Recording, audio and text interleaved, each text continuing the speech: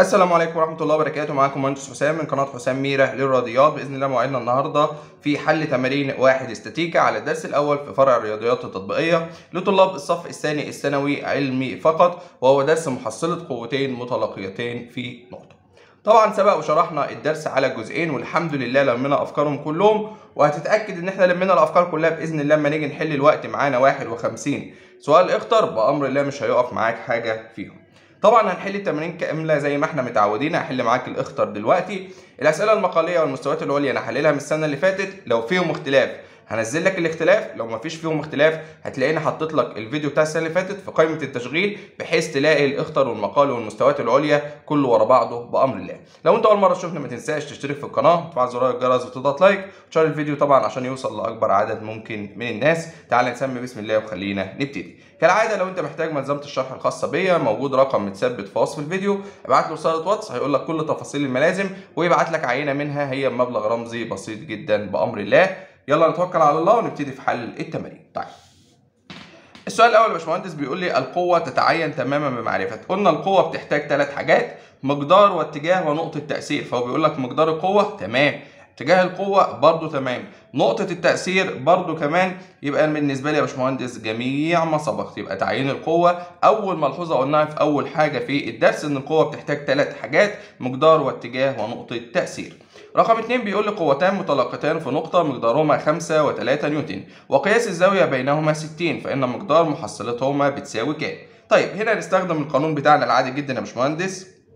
المحصلة هكتبه بس أول مرة وبعد كده هعوض على طول. يبقى ق واحد تربيع زائد ق اتنين تربيع زائد اتنين. ق واحد. ق اتنين جتا ياء اللي هي الزاوية ما بينهم خلي بالك. هنعوض بقى يا باشمهندس يبقى بالنسبة لي أدي جذر كبير. القوة الأولى تربيع يبقى خمسة تربيع التانية تربيع تلاتة تربيع زائد اتنين في تلاتة في خمسة في جتا ستين. جتا ستين اللي هي بالنسبة لي نص. النص ده هيروح مع الاتنين يا باشمهندس وممكن ما تتعبش نفسك خالص وتحسب القيمة دي أو تقول لي هنا خمسة تربيع بخمسة وعشرين وتلاتة تربيع بتسعة يبقى أنت كده معاك أربعة وتلاتين وكمان خمستاشر يعني جذر سبعة تسعة وأربعين اللي هي سبعة أو اعملها عن طريق الآلة الحاسبة يبقى الإجابة بتاعتي يا باشمهندس سبعة اللي هو الاختيار رقم إيه؟ رقم ج.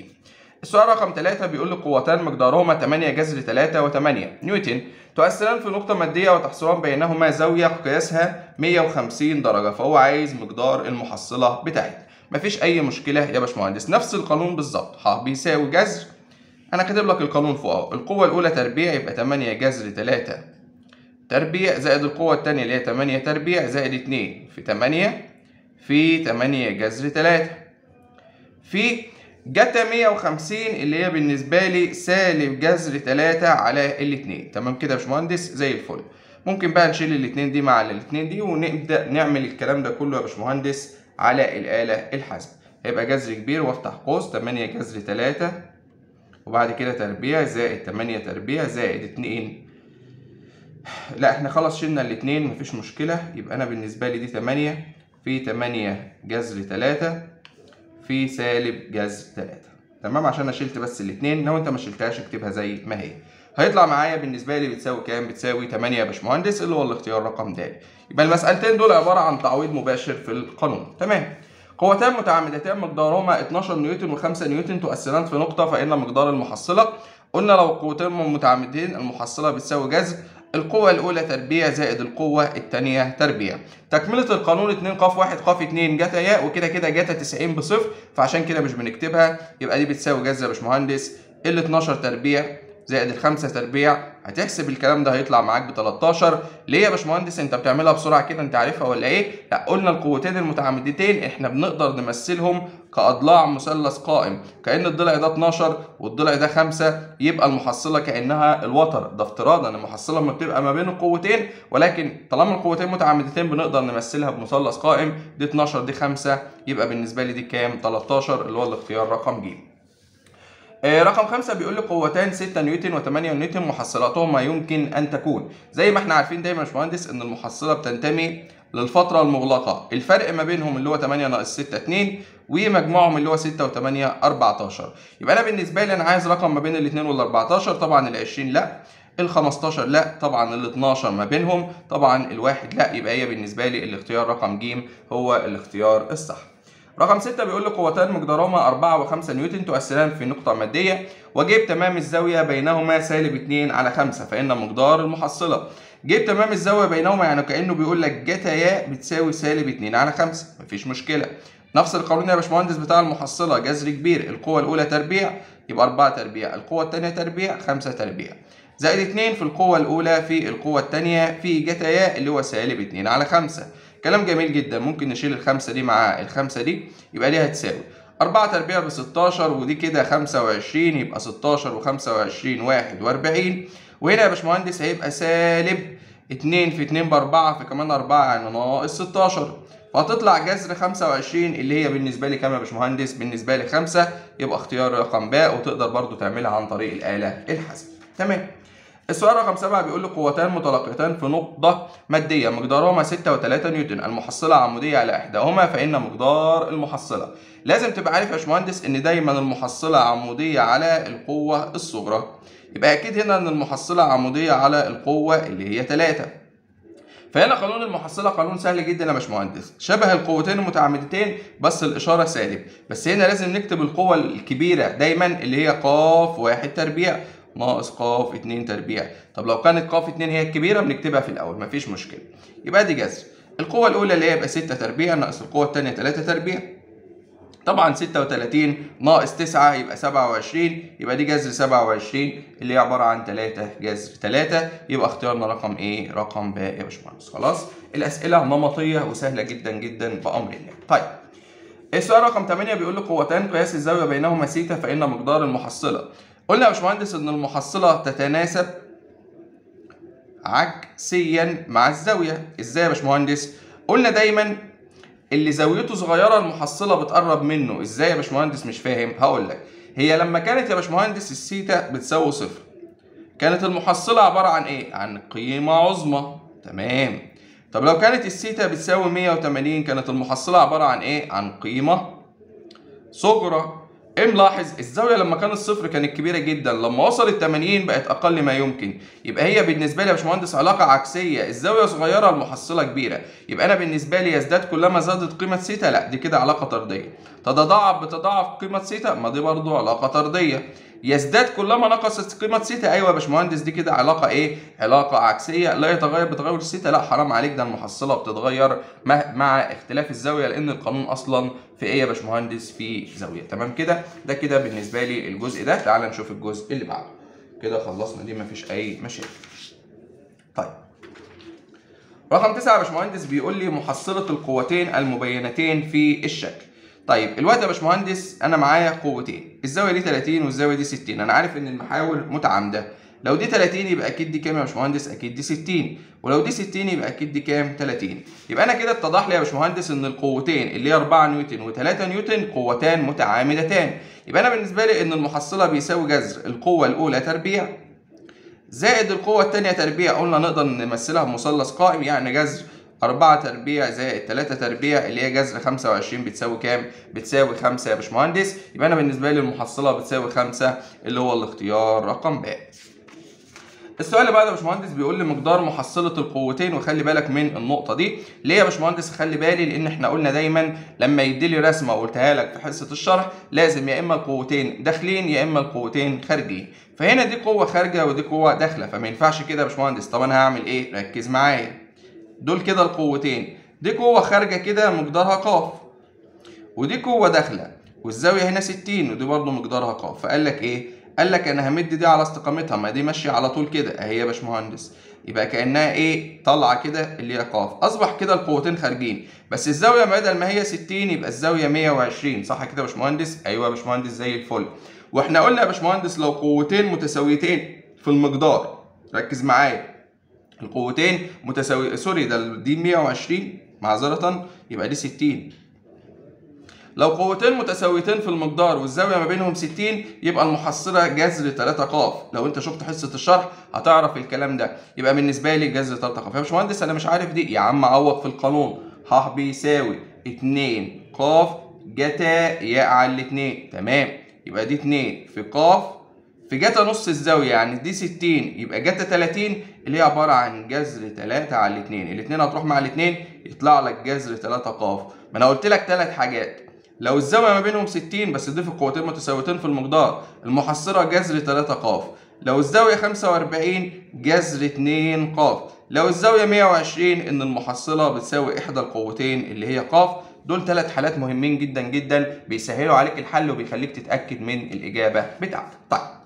رقم 11 يا باشمهندس يعتبر نفس الفكرة بالظبط. أنا معايا قوة خارجة ومعايا قوة داخلة. لا ما ينفعش يا باشمهندس. فهنبدأ نرسم رسمتنا كده. دي قوة كده خارجة اللي هي قاف ودي كده قوة داخلة اللي هي بالنسبة لي قاف. همد دي كده على استقامتها. دي طبعا 60 دي كده نازلة يا باشمهندس كأنها قاف. لو دي 60 يبقى دي كام؟ 120 خلاص قوتان متساويتان في المقدار. الزاوية بينهم 120 يبقى المحصلة بتساوي إحدى القوتين اللي هي قاف. يا باشمهندس أنا مش فاكر الملاحظات دي. عوض في القانون يبقى ح بيساوي 2 قاف جتا ياء على 2 يعني دي 2 في قاف في جتا 120 يا باشمهندس اللي هي بالنسبة لي المفروض نصها يبقى جتا 60 اللي هي نص. النص هيروح مع الاثنين يبقى إذا المحصلة بتساوي ق ويبقى بالنسبة لي الاختيار رقم ب هو الاختيار الصح. تمام. السؤال رقم 12 بيقول لي إذا كانت محصلة القوتين ق واحد وق اتنين تنصف الزاوية بينهما في أي الجمل الآتية صحيح طيب لو أنا معايا يا باشمهندس القوتين دول المحصلة بتنصف يبقى أنا بالنسبة لي يا باشمهندس إن دول قوتين متساويتين في المقدار. يعني ق واحد بيساوي ق اتنين. وخلي بالك ممكن يعملها لك كده يقول لك معيار ق واحد متجه بيساوي معيار ق اتنين متجه. دي هي دي. تمام يا باشمهندس؟ يبقى أنا بالنسبة لي الأولى دي صح. بيقول لي المتجه ق واحد بيساوي المتجه ق اتنين. عيب عليك تبقى في ثانية ثانوي ومش شاطر في المتجهات. دي غلط يا باشمهندس. ليه؟ لأن معنى الجملة دي يا باشمهندس إن هم متساويين في المقدار والاتجاه. وأنا إيش عرفني إن هم ماشيين في نفس الاتجاه. ده دي ماشية في حتة ودي ماشية في زاوية تانية. هم لازم يبقوا ماشيين مع بعض. لا يا باشمهندس. طيب بيقول لي المحصلة كاتجاه عبارة عن ق واحد متجه زائد ق اتنين متجه. دي أول ملحوظة قلتها لك في حصة الشرح. قلت لك لو هو شغال اتجاهات يبقى المحصلة عبارة عن جمع القوة. يبقى أنا بالنسبة لي يا باشمهندس إن دي برضو صح. يبقى أنا بالنسبة لي ال i صح وال triple i صح. يبقى بالنسبة لي الاختيار بقى يا باشمهندس اللي هو عبارة عن i و triple i دول كده يا باشمهندس الاختيار الصح بتاعي. تمام كده؟ تمام. السؤال اللي بعده يا باشمهندس رقم 13 بيقول لي قوتان مقدارهما ق و2 تؤثران في نقطة مادية وقياس الزاوية بينهما 60 إذا كانت محصلتهما عبارة عن 2 جذر 3 فإن ق يا باشمهندس. أنت عارف أنت لو واد شاطر ولماح كده هتقول لي إيه يا باشمهندس؟ تعالى هقول لك حالا. هتقول لي يا باشمهندس بص أنت الوقت الزاوية 60 ودي ق ودي 2 ودي طلعت 2 جذر 3 يعني كأنها جذر 3 ق يبقى القاف ده هي باتنين يا باشمهندس انت بتعمل حاجات بمجرد النظر إزاي؟ هقول لك اصل دي مع الحل على طول انت عرفت الموضوع ده. إزاي؟ أنا قلت لك في قوتين متساويتين في المقدار. لو الزاوية 60 المحصلة قاف جذر 3 ما قاف دي باتنين اهي. جذر 3 يبقى أكيد دي قاف باتنين. شوف أنا جبتها لك بمجرد النظر. يا باشمهندس لا أنا مش هعرف اعملها بعد اذنك. اعملها لي بخطوات. حاضر. خلاص أنا المحصلة عندي بكام؟ ب 2 جذر 3 فانا هستخدم القانون اللي هو ح تربيع بيساوي ق واحد تربيع أنا ربعت القانون بس. زائد ق 2 تربيع زائد 2 ق 1 ق 2 جتا ياء. كلام جميل جدا. دي تربيع يعني 2 جذر 3 تربيع. الأولى تربيع يا باشمهندس اللي هي ق تربيع. والثانيه تربيع اللي هي 2 في 2 ب 4 زائد 2 في القوة الأولى اللي هي ق في القوة الثانية اللي هي 2 جتا ياء اللي هي جتا 60 اللي هي عبارة عن نص. شيل الاثنين مع النص. تمام؟ 2 تربيع ب 4 جذر تربيع ب 3 يبقى 4 في 3 ب 12 هيساوي ادي ق تربيع ودي كده 2 ق وادي كده موجب 4 هودي ال 12 الناحية الثانية هيطلع لي بقى ان ق تربيع زائد 2 ق و4 ناقص 12 يعني سالب 8 بيساوي صفر. هنبدأ نحلل دي يا باشمهندس ق وق الأخير سالب واحدة موجب واحدة سالب. عددين ضربهم 8 الفرق 2 4 في 2 والكبير شبه اللي في النص يبقى هنا 4 وهنا 2 من هنا إن القاف بيساوي سالب 4 وده مرفوض مفيش قوة بالسالب. ومن هنا إن القاف بيساوي 2 إيه رأيك بقى اللي إحنا جبنا القاف بمجرد النظر وعملناها برضو بالقانون؟ فخليك شاطر في ده عشان أنت سؤال اختر ممكن تنجز حالك. ولكن لو السؤال مقالي طبعا هتحل لي بخطوات. فركز في النقطة دي. بيقول له قوتان مقدارهما ق و2 نيوتن وقياس الزاوية بينهما 2 pi على 3 ومقدار محصلتهما ق نيوتن فإن ق بيساوي إيه؟ تيجي أحلها لك بمجرد النظر برضو؟ إزاي يا باشمهندس؟ الزاوية دي 2 pi على 3 معذرة. يبقى 2 في 180 ب 360 على 3 ب 120 فاكر يا باشمهندس لو القوتين متساويتين في المقدار والمحصلة بتاعتهم 120 يبقى المحصلة بتساوي إحدى القوتين؟ أيوه يا باشمهندس. طب ما خلي بالك إن المحصلة ق بتساوي إحدى القوتين لأن دي ق يبقى أكيد القوة الثانية بكام؟ باتنين. بجد والله والله العظيم بجد ده كلام سهل وبسيط جدا وخليك لماح. طالما يا باشمهندس الزاوية ب 120 يبقى المحصلة بتساوي إحدى القوتين. مش عايز أتعب نفسي وأعملها قانون زي المسألة اللي فاتت؟ نفس خطوات المسألة اللي فاتت. لو أنت عايز تحلها بخطوات قول له المحصله تربيع يبقى ق تربيع بيساوي دي تربيع تعالى أعملها لك. ها ما تزعلش. المحصلة تربيع يبقى ق تربيع بتساوي القوة الأولى تربيع اللي هي عبارة عن ق تربيع. زائد القوة الثانية تربيع اللي هي 4 زائد 2 في القوة الأولى اللي هي ق في القوة الثانية اللي هي 2 في جتا 120 كلام جميل جدا. يبقى أنا بالنسبة لي ق تربيع بتساوي أدي ق تربيع زائد 4 جتا 120 بسالب نص فالاتنين دي هتروح مع الاتنين دي فيفضل لي هنا سالب 2 ق القاف تربيع هقدر أشيلها مع الاتنين ق وأودي دي الناحية التانية فيطلع لي 2 ق بيساوي 4 اقسم على الاتنين يبقى القاف بيساوي 2 انت في غنى عن الخطوات دي كلها طول ما انت فاهم الدرس. تمام؟ بيقول لي قوتان متساويتان في المقدار وقياس الزاوية بينهما باي على الاثنين خلي بالك. الزاوية دلوقتي 45 ومقدار المحصلة 8 فإن مقدار كل قوة منهما بيساوي كام؟ طب يا باشمهندس كده الزاوية 45 وطالما القوتين متساويتين في المقدار يعني المحصلة يعني القوة بتاعتنا هتبقى عبارة عن جذر 2 ق جذر 2 ق يا باشمهندس. طب هي مقدار المحصلة 8 تيجي نعوض في القانون؟ أيوه يا باشمهندس. الحاء بيساوي 2 ق جتا يا على 2 بيقول لك إن المحصلة ب 8 بتساوي 2 في القوة اللي أنا عايز أحسبها. جتا نص الزاوية خلي بالك إن دي قياس الزاوية بينهما. خلي بالك قياس الزاوية ما بين القوتين يا باشمهندس. يعني دي بالنسبة لي كأن الياء ب 90 اوعى تنسى الكلام ده لأنه بيقول لك قوتين مساويتين في مقدار قياس الزاوية بينهما كذا اللي هي 180 على الاثنين 90 يبقى الزاوية بين كل قوة وقوة كام؟ 45 يبقى 2 في ق جتا نص الزاوية اللي هي 45 تمام يا باشمهندس ممكن نقول على الاثنين فيها الواحد على الاثنين فيها الاربعه فيطلع لي إن الأربعة هيساوي القاف في جتا 45 بواحد على جذر 2 اضرب مقص يبقى جذر 2 في 4 يبقى القاف بيساوي 4 في جذر 2 اللي هي 4 جذر 2 اللي هو الاختيار رقم إيه؟ رقم ج يا باشمهندس تمام كده؟ تمام قوتان متساويتان في المقدار مقدار محصلتهما 7 جذر 3 وقياس الزاوية بينهما باي على 3 180 على 3 يعني 60 وقلنا لو قوتين متساويتين في المقدار والزاوية بينهم 60 يبقى المحصلة عبارة عن جذر 3 ق طب ما تقارني دي 7 جذر 3 بجذر 3 ق يبقى أكيد إن القاف بسبعة يبقى اختيارنا رقم د من غير ما نعمل خطوات تمام يا باشمهندس؟ اعمل لي الخطوات يا عم ده انت متعب ها؟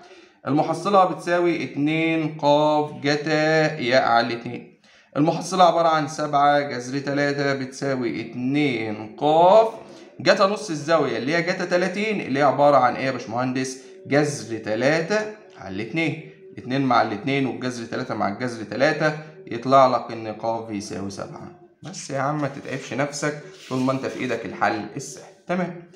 رقم 17 بيقول لي قوتان مقدارهما قاف وقاف يعني ده, ده زي الفل كده قوتين متساويتين بالمقدار مقدار محصلتهما 24 نيوتن وتميل على القوة الأولى بزاوية قياسها 30 فإن مقدار القاف بيساوي إيه؟ طيب ده سؤال جميل جدا وسهل برضه في نفس الوقت ليه؟ أصل طالما قوتين في الم... متساويتين في المقدار يبقى ح بيساوي 2 قاف جتا ياء على الاتنين طيب لو أنا جيت سألتك سؤال هي ياء بتساوي كام؟ هو قال لك إن المحصلة بتميل على القوة الأولى بزاوية 30 يعني معايا قوتين أهو ودي محصلة. فقال لك إن هي بتميل على القوة الأولى ب 30 طب ما أنا عارف لو هما متساويتين في المقدار المحصلة بتنص في الزاوية دي ب 30 فلو جيت قلت لك الياء بكام؟ تقول لي ب 60 تمام فخلي بالك من النقطة دي واجيبها لك عشان كده. يبقى أنا بالنسبة لي يا باشمهندس المحصلة اللي هي 24 بتساوي 2 في قاف في جتا نص الزاوية اللي هي نص ال 60 اللي هي جتا 30 على الاثنين فيها الواحد على الاثنين فيها ال 12 يبقى ال 12 بيساوي قاف. في طبعا جتا 30 عبارة عن جذر 3 على الاتنين يبقى أنا بالنسبة لي إن ق يا باشمهندس هتساوي 2 في 12 ب 24 اقسمها على جذر 3 تطلع معاك 8 جذر 3 يبقى الإجابة بتاعتي 8 جذر 3 اللي هو الاختيار رقم إيه يا باشمهندس؟ رقم ب تمام كده؟ هل في أي مشاكل؟ سهل السؤال اللي بعده بيقول لي إذا كان ق و8 جذر 3 مقداري قوتين تؤثرين في جسيم وتحصلان بينهما زاوية قياسها 120 المحصلة تنصف الزاوية بين القوتين. يبقى القوتان متساويتان في المقدار. يبقى دي 8 جذر 3 يبقى دي 8 جذر 3 يا باشمهندس قلت لكم قوتين متساويتين في المقدار والمحصلة بتساوي واحدة منهم بسبب إن الزاوية كام؟ بسبب إن الزاوية 120 أرجوك ما تنساش الملحوظات دي. أنا قلتها في حصة الشرح وبقولها هنا كتير جدا أهو. تمام. بيقول لي قوتان مقدارهما 8 وقاف ثقل جرام وقياس الزاوية بينهما ينتمي من صفر لباي. محصلتهما تنصف الزاوية بينهما فإن قاف. هو إيه صفر مفتوح يعني ما هيش قيمة عظمى. ويعني إيه باي مفتوحة يعني هي مش قيمة صغرى. فقال لك إن المحصله بتاعتهم طالما يا باشمهندس المحصلة تنصف الزاوية يبقى القوتان متساويتان في المقدار. لو دي 8 ودي ق يبقى أكيد إن القوة الثانية 8 ويبقى اختيارنا رقم إيه يا باشا. رقم د ومفيش أي مشكلة في السؤال ده. تمام كده؟ تمام. رقم 20 بيقول لي قوتان مقدارهما 3 نيوتن وقاف نيوتن وقياس الزاوية بينهما 120 إذا كانت محصلتهما عمودية على القوة الأولى فإن مقدار القاف خلي بالك بدأ بقى إيه؟ يربط الكلام ده. كده المحصلة عمودية على القوة الأولى. طيب ما أنا عارف يا باشمهندس القانون لو هي عمودية على القوة الأولى يبقى قاف واحد زائد قاف اتنين. جتا ياء بيساوي صفر. قاف واحد اللي هي القوة الأولى 3 زائد قاف اتنين في جتا ياء طيب آدي قاف اتنين. في جتا 120 اللي هي سالب نص الكلام ده بيساوي صفر. ودي دي الناحية التانية يبقى نص قاف اتنين بيساوي تلاتة. اضرب اتنين في تلاتة يبقى إذا القاف اتنين اللي هي قاف يعني. بتساوي كام؟ بتساوي ستة يبقى اتنين في تلاتة بستة. يبقى اختيارنا رقم إيه يا باشمهندس؟ رقم د برافو عليك. اللي بعده؟ بيقول لي قوتان متعامدتان مقدارهما 2 ق ناقص 5 وق زائد 2 أمية ومقدار محصلتهما 3 جذر 5 فإن ق خلي بالك هنا بيقول لك القوتان متعامدتان. تروح للقانون اللي هو ح تربيع بيساوي ق 1 تربيع. زائد ق 2 تربيع. طب يا باشمهندس المحصلة تربيع يعني 3 جذر 5 أس 2 هيساوي القوة الأولى تربيع يعني 2 ق ناقص 5 الكل تربيع. زائد ق زائد 2 الكل تربيع. 3 تربيع يا باشمهندس بكام؟ بتسعة وجذر 5 تربيع بخمسة يعني 45 طيب المفروض إن أنت هتبدأ تفك الكلام ده وتجيب لي قيمة القاف. أنا مش عامل كده. أمال هتعمل إيه؟ يا عم أنا عندي سؤال مجهيل وجاي لي اختر يعني هو بيسهلها عليك. طب ما تعوض يا عم وشوف القيمة وريح دماغك من الشغلانة دي. إزاي؟ جرب السبعة يبقى اتنين في سبعة بأربعتاشر ناقص خمسة يبقى تسعة. تربيع بواحد وتمانين. طبعا من الأول السبعة دي غلط. ليه؟ أصل دي واحد وتمانين ولسه هجمع عليها حاجة. هل يعقل إن هي خمسة وأربعين؟ لأن ده يطلع لي قيمة موجبة على طول. لا يا باشمهندس فدي غلط. جرب اللي بعدها. اتنين في أربعة بتمانية ناقص خمسة تلاتة. تلاتة تربيع بتسعة. تمام. جرب هنا. أربعة زائد اتنين ستة. ستة تربيع بستة وتلاتين. تسعة وستة وتلاتين خمسة وأربعين. برافو عليك يا باشمهندس. انت جبتها في ثانية. ولا هفك ولا هعمل أي حاجة. أنا بشغل دماغي. تمام. رقم 22 بيقول لي قوتان مقدارهما 6 نيوتن و10 نيوتن. مقدار المحصلة 14 فإن قياس الزاوية بينهما بيساوي كام هل يا باشمهندس المحصلة دي بتساوي مجموعهم؟ لا. هل المحصلة دي بتساوي الفرق ما بينهم؟ لا. يبقى أنا بالنسبة لي أنا معايا زاوية لازم أتأكد من ثلاث حاجات. المجموع والفرق والعمودي. لو القوتين عموديتين أشوف دي تربيع ودي تربيع بتساوي المحصلة ولا لأ. دول ثلاث حاجات لازم أتأكد منهم في أي مسألة. فهنا طبعا بالنسبة لي لأ. يبقى أنا بالنسبة لي يا باشمهندس لو قلت 6 تربيع و10 تربيع مش هيدوا لي يا باشمهندس 14 تربيع. يبقى أنا المفروض أعوض في القانون بتاعي. إيه هو القانون؟ اللي هو ح تربيع بيساوي ق 1 تربيع زائد ق 2 تربيع زائد 2 ق 1 ق 2 جتا ياء طيب ح تربيع اللي هي عبارة عن 14 تربيع والأولى تربيع ستة تربيع والتانية تربيع عشرة تربيع زائد اتنين في ستة في عشرة جتا ياء. طيب بص إحنا ممكن نجيب جتا ياء دي لوحدها إزاي؟ ركز معايا بقى. جتا ياء اكتب القانون ده معاك عشان يبقى إيه؟ سهل عليك يا باشمهندس. بص أنا دلوقتي دي جتا ياء فأنا هودي الاتنين دول الناحية التانية يبقى أنا معايا 14 تربيع وده هتروح بالسالب سالب 6 تربيع وده هتروح بالسالب سالب 10 تربيع. وهقسم على اللي قدامها اللي هو 2 في 6 ب 10 ده قانون الجتا ياء اللي هو ح تربيع ناقص ق واحد تربيع ناقص ق اتنين تربيع على اتنين في ق واحد ق اتنين. تمام. فهنبدأ نحسب الحسبة دي كده على الآلة. 14 تربيع ناقص 6 تربيع ناقص 10 تربيع. الكلام ده على 2 في 6 في 10 تطلع معايا بنص. الزاوية طلعت بنص. بعد كده يا باشمهندس أعمل شيفت وقوسين الأنصر يطلع اضغط يساوي يطلع إن الزاوية بكام يا باشمهندس؟ الزاوية ب 60 يبقى أنا بالنسبة لي إن ي بتساوي 60 ويبقى اختيار الصح رقم إيه رقم ج تمام كده؟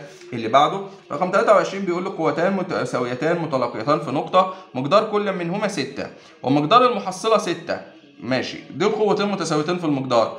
المحصلة تساوي إحدى القوتين. يبقى الياء ب 120 من غير ما أفكر يبقى اختياري رقم ج إحنا قلنا الملحوظات دي مهمة جدا.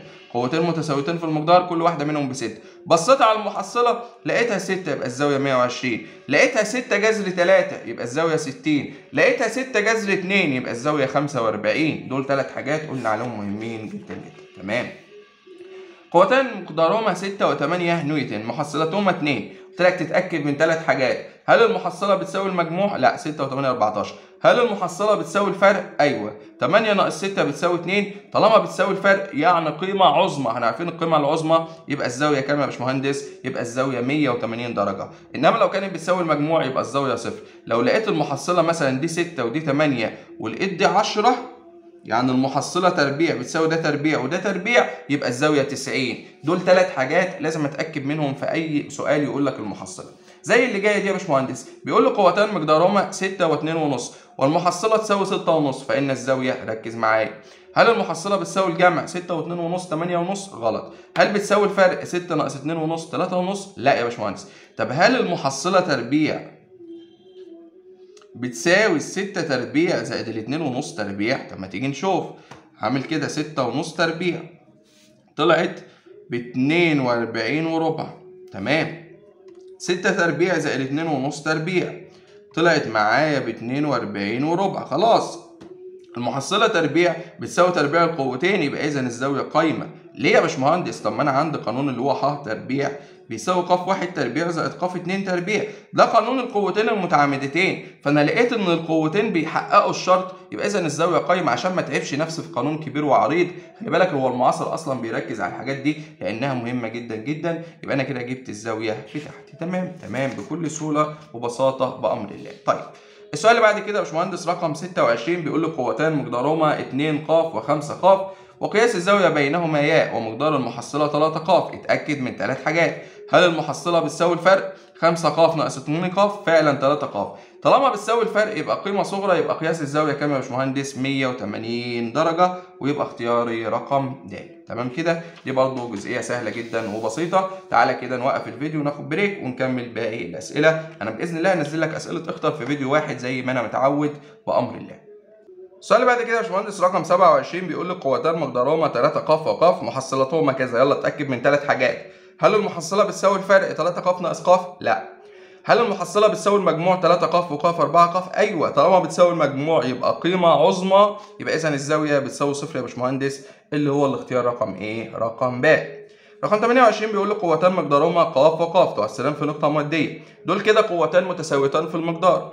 ومحصلتهما مقدارها ق المحصلة بتساوي إحدى القوتين لأن المحصلة ق وإحدى القوتين ق يبقى من غير ما أفكر الزاوية بتاعتي بكام يا باشمهندس؟ ب 120 درجة اللي هو الاختيار رقم ا لو كان قال المحصله ق جذر 3 كنت اخترت 60 لو كان قال المحصله ق جذر 2 كنت اخترت 45 يا باشمهندس تمام كده؟ فخلي بالك من النقط دي.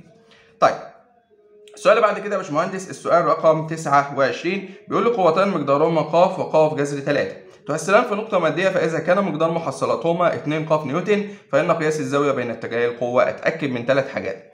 هل المحصلة بتساوي الجمع؟ لا. هل بتساوي الفرق؟ لا. أقوم مجرب التجربة الثالثة اللي هي المحصلة تربيع. هل بتساوي مربع القوتين مع بعض ولا لا؟ تعال نشوف.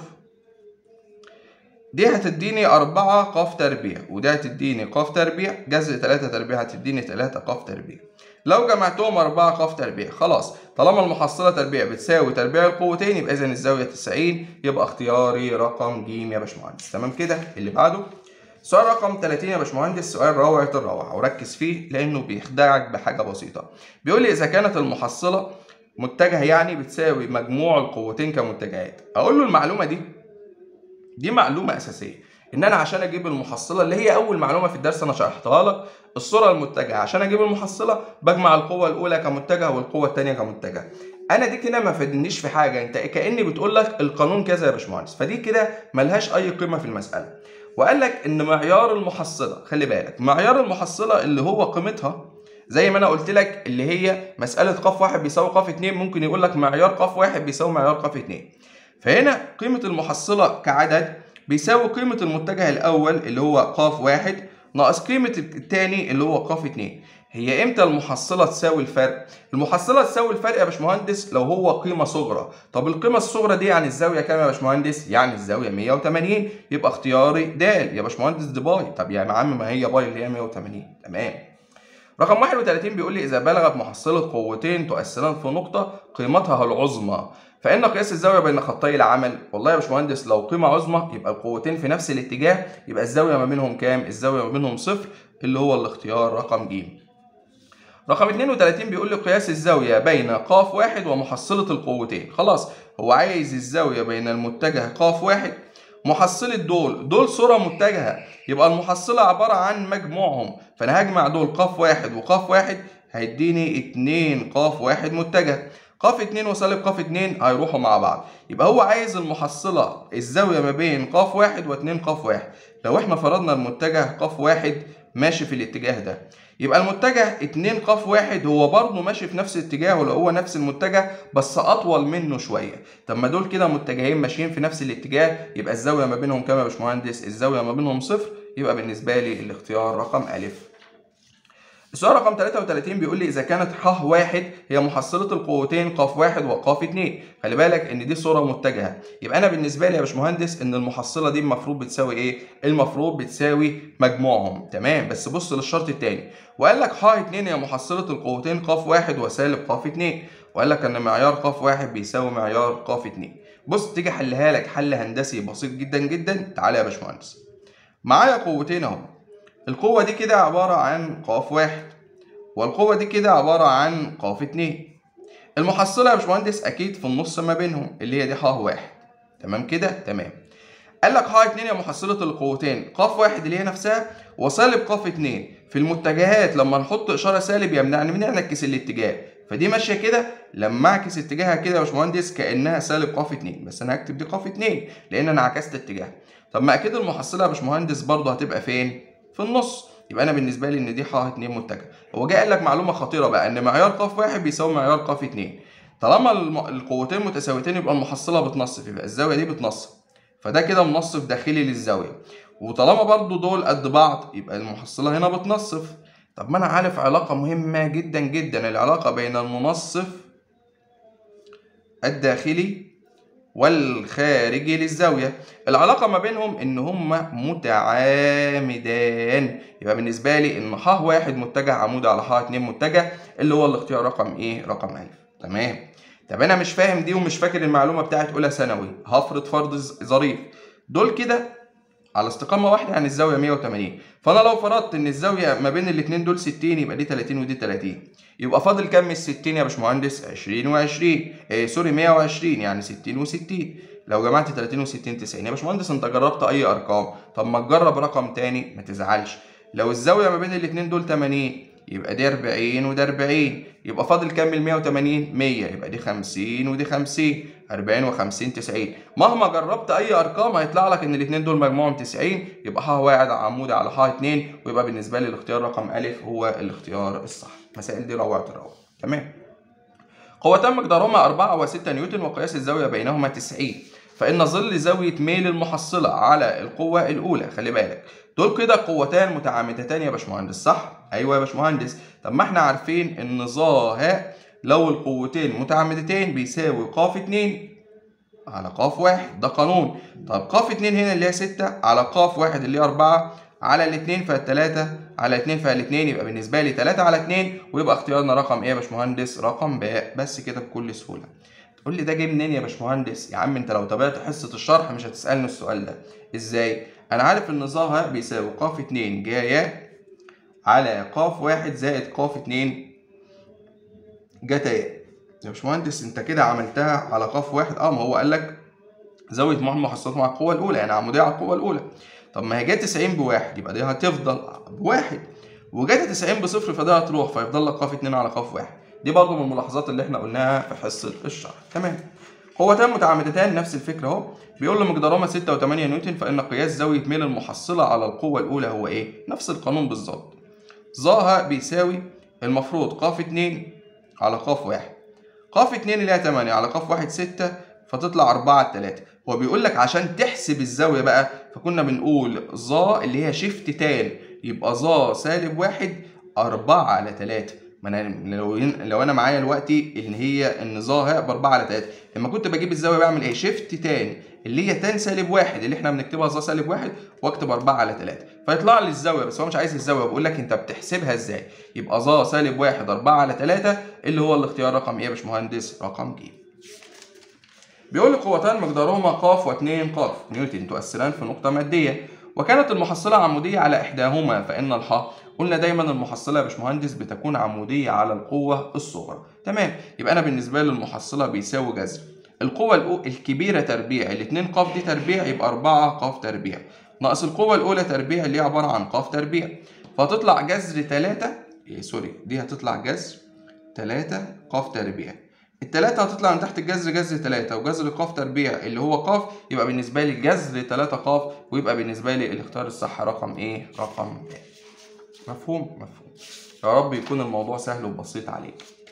السؤال رقم 37 بيقول لك قوتان مقدارهما 3 جذر 2 و6 نيوتن وقياس الزاوية بينهما 135 فإن قياس الزاوية بين محصلتهما والقوة الثانية.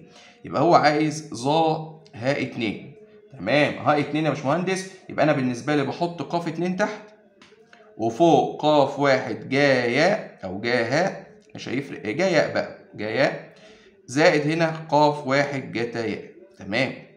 هنا القوة الأولى 3 جذر 2 وتبقى جتا 135 سوري جا 135 وهنا ق 2 اللي هي 6 زائد 3 جذر 2 جتا 135 طيب جا 135 بواحد على جذر 2 هنروح مع الجذر 2 يفضل لك في البسط 3 وهنا جتا 135 بسالب واحد على جذر 2 هيروح مع دي يبقى 6 ناقص 3 3 3 على 3 فعل واحد شيفت تان الزاوية اللي الظا بتاعها بواحد 45 يبقى الزاوية بتاعتي 45 درجة ويبقى اختياري رقم باء.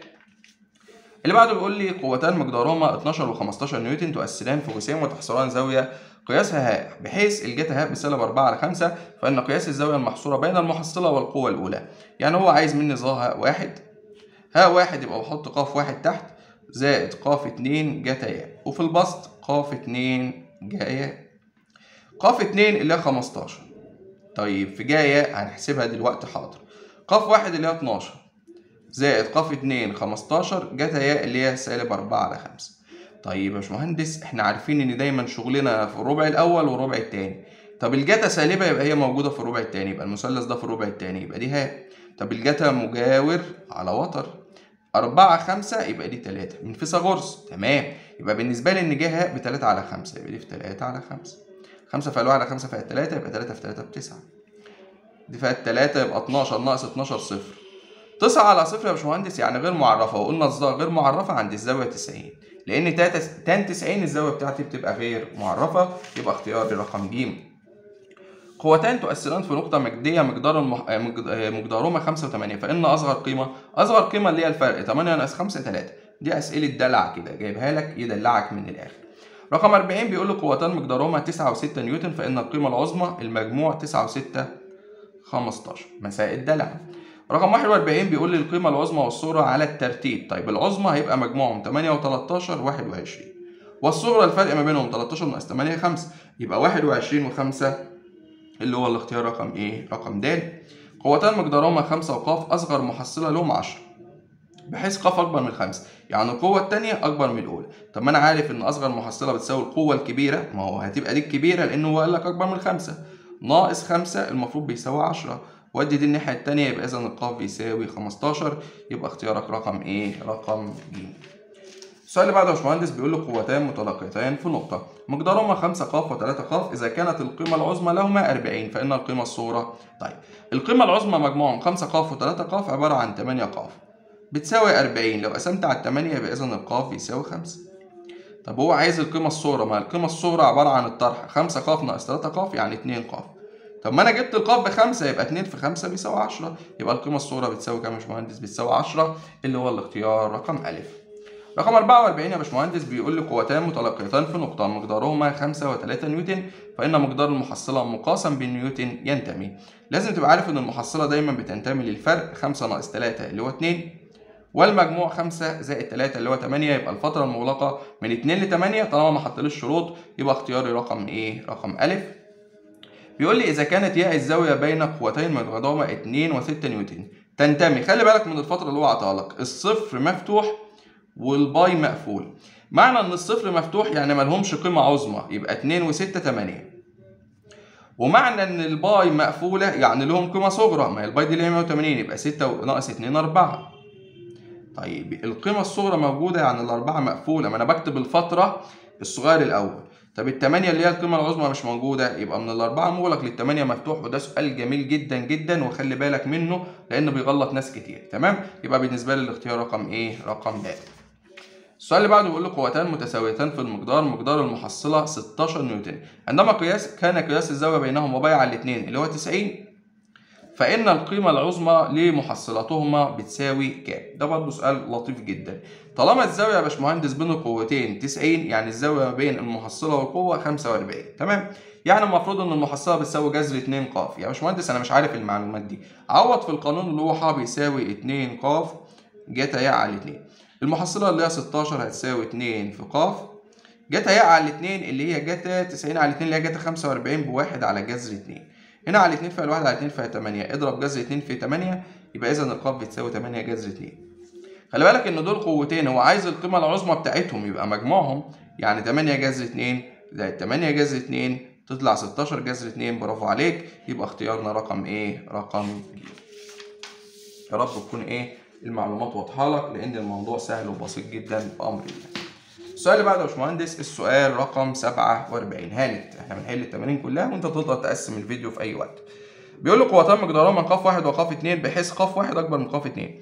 أصغر محصلة لهما 3 يبقى أنا بالنسبة لي القوة الكبيرة اللي هي ق واحد ناقص القوة الصغيرة اللي هي ق اتنين بتساوي 3 وأكبر محصلة اللي هي عبارة عن ق واحد زائد ق اتنين المفروض بتساوي 12 فإن ق واحد تربيع ناقص ق اتنين تربيع من غير ما نحل المعادلات لو أنت ملاحظ الاتنين دول عددين مترافقين فأنا لو ضربتهم في بعض ق واحد في ق واحد بق واحد تربيع سالب في موجب بسالب ق اتنين في ق اتنين بق اتنين تربيع وتلاتة في اتناشر بستة وتلاتين يبقى بالنسبة لي ستة وتلاتين اللي هو الاختيار رقم إيه؟ رقم د.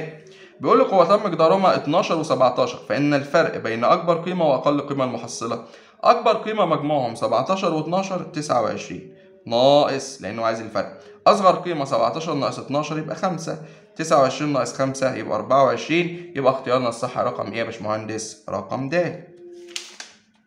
السؤال اللي بعده يا باشمهندس رقم 49 بيقول لي قوتان مقدارهما ق وجذر 3 ق متلاقيتان في نقطة وكان مقدار محصلتهما ح واحد. لما تيجي نقف عند النقطة دي يا باشمهندس. أنا عارف إن ح واحد تربيع هيساوي ق عندما كان قياس الزاوية بينهما 60 ده زي الفل يبقى ق واحد تربيع زائد ق اتنين تربيع بس لأن جت 90 بصفر. كلام جميل جدا.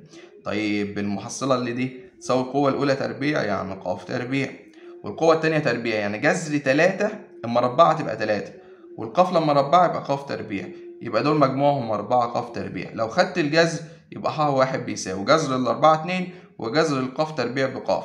يبقى المحصلة الأولى عبارة عن اتنين قاف. ثم أصبح مقدار محصلتهما ح اتنين عندما كان قياس الزاوية بينهما 150 يبقى المحصلة تربيع بيساوي القوة الأولى تربيع زائد القوة التانية تربيع. إحنا لسه حاسبينهم من أهو. زائد اتنين في القوة الأولى في القوة التانية المفروض يا باشمهندس في جتا 150 وجتا 150 بسالب جذر 3 على 2 تمام الاتنين هتروح مع الاتنين دول كده 4 ق تربيع. جذر 3 بجذر 3 ب 3 وفي إشارة سالب يبقى ناقص 3 ق تربيع. هتديك ق تربيع بس. خد الجذر يطلع لك إن ح 2 جذر ق تربيع اللي هو ق فبيقول لك إيه العلاقة بين ح واحد وح اتنين؟ متساويتين غلط طبعا. المحصلة الأولى ضعف التانية. أيوة ما دي اتنين ق ودي ق يبقى بالنسبة لي الاختيار رقم ب اختيار صح. طب دي طبعا غلط ودي طبعا غلط. يبقى بالنسبة لي الاختيار رقم ب هو اختياري الصح. رقم 50 بيقول لي محصلة القوتين في الشكل المقابل تؤثر في الاتجاه. ماشي. دول قوتان متساويتين في المقدار. كلام جميل جدا. الزاوية دي 25 يبقى إذا دي 75 ودي 75 كم؟ 65 بقى؟ 65 معذرة ليه؟ لأن 25 و65 يبقى بالنسبة لي 90 طيب. لو أنا معايا قوتين والزاوية متنصفة ما بينهم يبقى أكيد المحصلة هتبقى في النص. طالما المحصلة في النص يبقى المحصلة هتيجي هنا مش لازم تحسبها هو بيختبرك. هل انت عارف لو القوتين متساويتين في المقدار والمحصلة بتنصفهم المحصلة هتبقى في النص؟ أيوه يا باشمهندس. يبقى المحصلة هتبقى لفوق. ليه؟ لأن الاتنين دول خارجين إنما لو كانوا الاتنين داخلين كانت المحصلة لتحت وهكذا. يبقى أنا بالنسبة لي المحصلة هتأثر في اتجاه واو صاد الموجب اللي هو محور الصادات الموجب. تمام كده يا باشمهندس؟ زي الفل. تعالى بقى نشوف السؤال الأخير معانا. السؤال رقم 51 بيقول له قوتان متلاقيتان في نقطة. مقدار أصغر وأكبر محصلة لهما صفر و12 على الترتيب فإن القوتين. طيب أصغر محصلة عبارة عن القوة الأولى ناقص القوة الثانية. الكلام ده بيساوي صفر. وخلي بالك إن العلاقة دي تكفيني. ليه؟ لو أنا وديت دي الناحية التانية هيطلع لي إن قاف واحد بيساوي قاف اتنين. بجد؟ آه والله. يبقى أنا كده عرفت إن القوتين متساويتين في المقدار يبقى الاختيار رقم ج من غير تعقيد ومن غير أي حاجة. يا باشمهندس طب ما الشرط التاني هو عبارة عن ق واحد زائد ق اتنين المفروض بيساوي 12 تمام. يا باشمهندس هو أنا لو جيت عوضت دلوقتي عن ق واحد بيساوي ق اتنين. آه يعني شيل دي كده وحط ق واحد. ق واحد وق واحد يعني اتنين. ق واحد بيساوي 12 لو قسمت على اتنين يبقى ق واحد بستة. يبقى دول قوتان متساويتين في المقدار كل واحدة فيهم بستة.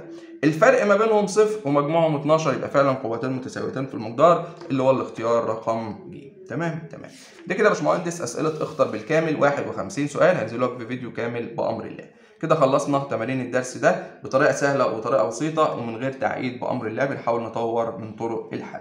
زي ما قلت لك الأسئلة المقالية ومستويات قليلة أنا حللها قبل كده السنة اللي فاتت. لو فيها اختلاف هنزلها لك بأمر الله الجديد. لو مفيش اختلاف هقص لك الفيديو وانزلها لك في قائمة التشغيل بحيث يبقى الأسئلة ورا بعض بأمر الله. كده وصلنا لاخر حصة النهارده. أتمنى اكون قدرت أفيدك. أتمنى اكون وصلت لك. المعلومات بطريقه سهلة وبسيطة. يا ريت لو استفدت تشترك في القناة وتفعل زر الجرس وتضغط لايك وتشير الفيديو عشان يوصل لأكبر عدد ممكن من الناس. أشوفكم على خير الفيديو الجاي. كان معاك مهندس حسام من قناة حسام رياضيات وشكرا جدا.